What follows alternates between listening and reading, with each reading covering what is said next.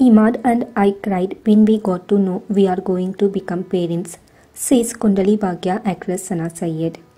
Three years after their wedding, Sana Sayyed and corporate professional Imad Shamsi are expecting their first baby. The actress who was playing the lead in Kundali Bhagya quit the TV show in April.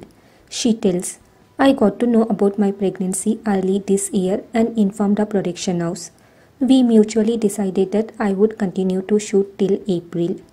This is my first experience and so it was bit challenging shooting in my first few months of pregnancy. I did not reveal about it to anyone because it's my first time and I felt this was something best kept to myself and my family.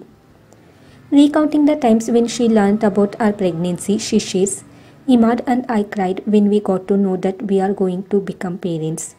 My husband is very camera shy, so it was a task doing a maternity shoot with him.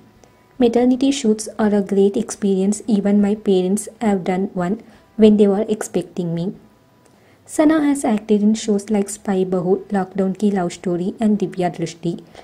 Is enjoying every moment of her pregnancy. She says, It is a beautiful experience, and all we want is healthy baby. I am going with the flow and want to focus fully on my child.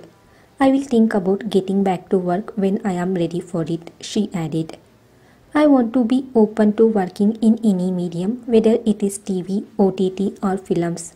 I was getting offers even after I quit Kundali Bhagya.